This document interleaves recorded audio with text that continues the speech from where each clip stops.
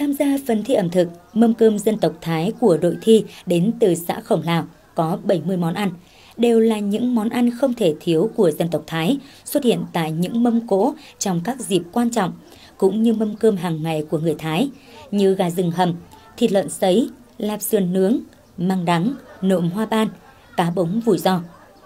Những món ăn trong mâm cơm của đội Khổng Lào đều được tạo thành từ những nguyên liệu có sẵn của địa phương. Thông qua đó, xã Khổng Lào mong muốn sẽ giới thiệu quảng bá mang đậm hương sắc ẩm thực dân tộc Thái phong thổ tới đông đảo du khách.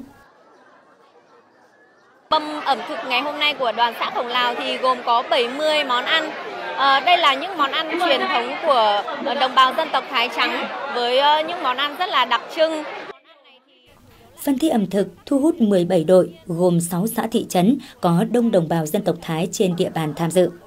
Các món ăn độc đáo, mang đậm bản sắc văn hóa dân tộc được nấu nướng tỉ mỉ, khéo léo, bài trí đẹp mắt. Chất lượng món ăn cũng được đảm bảo ngay từ khâu chọn nguyên liệu đến quá trình nấu nướng, chế biến.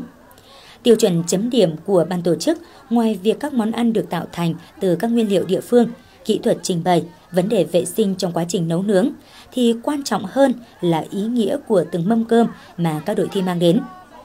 Với sự chuẩn bị công phu chu đáo của các đội thi, các mâm cơm dự thi rất đa dạng về món ăn, đậm đà bản sắc, hương vị đặc trưng riêng của đồng bào Thái phong thổ, tạo nên không khí sôi nổi, đồng thời để lại ấn tượng sâu sắc với nhiều du khách.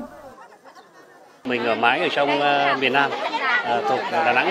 mà ra đây thưởng thức các món uh, đặc sản của bác cảm thấy rất là hấp dẫn. Uh, những món ăn dân dã nhưng mà qua cái bàn tay uh, khéo léo của đồng bào người Tây Bắc tạo ra những món ăn cũng nâng tầm lên thành những món đặc sản đặc biệt là đối với người phương xa như chúng tôi đây là rất ngưỡng mộ và ừ, ngạc nhiên. Phần thi ẩm thực truyền thống là dịp để đồng bào dân tộc Thái trên địa bàn huyện Phong Thổ giới thiệu cho du khách những nét văn hóa ẩm thực truyền thống đặc sắc mang đặc trưng riêng vùng Tây Bắc. Qua đó quảng bá, giới thiệu tiềm năng văn hóa du lịch huyện Phong Thổ đến bạn bè và du khách gần xa.